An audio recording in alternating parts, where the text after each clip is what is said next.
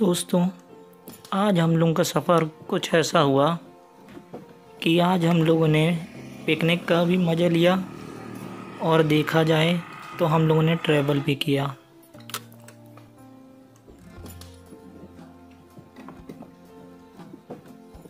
दोस्तों, देखो कैसे लंगूर पेड़ों पे एक टहनी से दूसरे टहनी जा रहे हैं।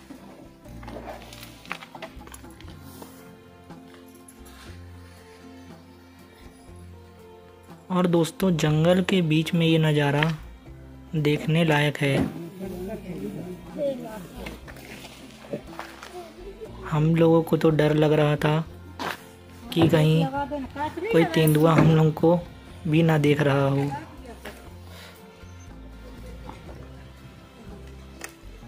आप लोग खुद ही देख के अंदाज़ा लगा सकते हैं कि कितना घना जंगल है। वो मेरी नहीं है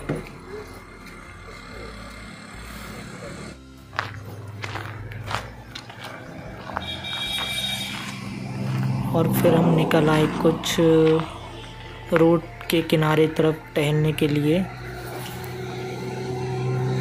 जो कि एक खेत था। और मेरे को इस हरियाली को देख के रहा नहीं गया तो मैं निकल आया सूट करने के लिए। तो मेरी फ़ोटोशूट पूरी हो ही रही थी कि जब तक मेरा खाना भी वहाँ हमारी कार में रेडी हो रहा था।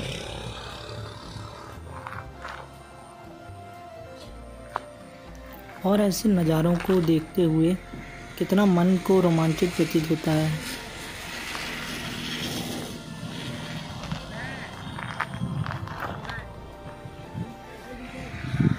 और दोस्तों, इतनी हरियाली में जो गर्मी और एक ठंड के बीच का मौसम रहता है ये वही मौसम चल रहा है। और ऐसे में गर्मी भी है, ज़्यादा नहीं लगती है और ना ही ठंड ज़्यादा लगती है। तो कुछ इस प्रकार का नज़ारा हमारे सामने प्रकृति ने पेश किया है, जो कि देखने में मन को बहुत भाता है।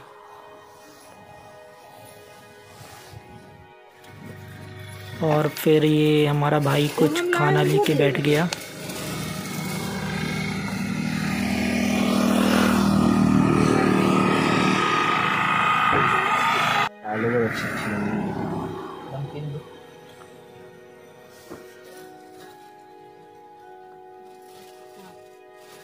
हमने सोचा पहले कुछ पेट पूजा कर ली जाए, उसके बाद में यहाँ से आगे बढ़ा जाए।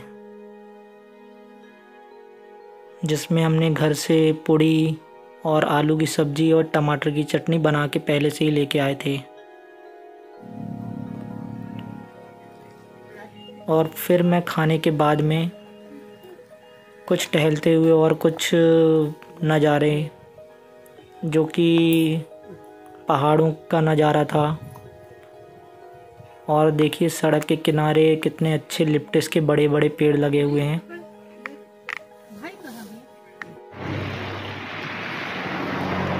और फिर ये कुछ नज़ारा जो कि शाम का था।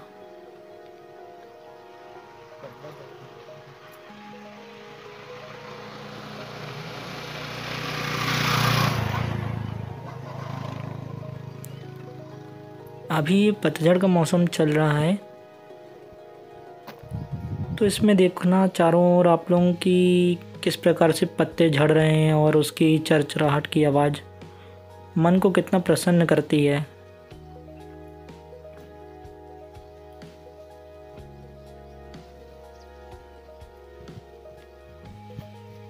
और इसी प्रकार मैं आगे बढ़ता गया, क्योंकि मैंने देखा कि कुछ बंदर पेड़ों पे इधर से उधर छलांगे मार रहे थे।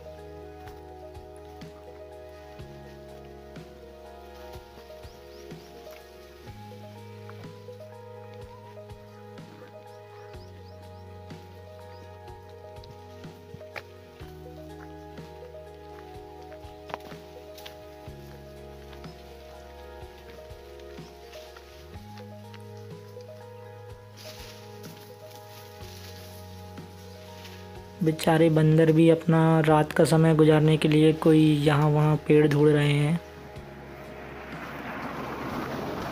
जो कि ऊँचा हो और उनको जंगली जानवरों से बचा सके।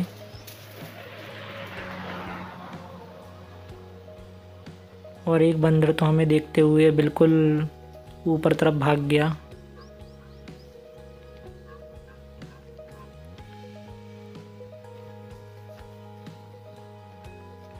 और बस ये शाम की तन्हाई चारों ओर बिखरी हुई।